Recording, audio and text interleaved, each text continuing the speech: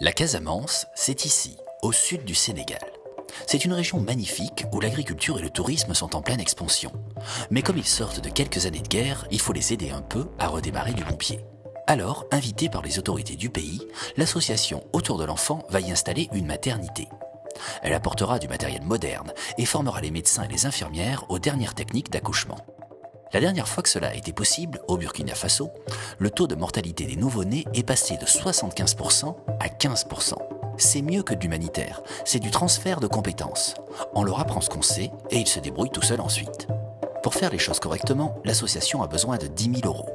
Si on compare à la quantité d'enfants qui, grâce à cette maternité, va naître en bonne santé, vivre, grandir et participer à la richesse de son pays, c'est le meilleur placement du moment. Pour plus d'infos, rendez-vous sur leur site autourdelenfant.org.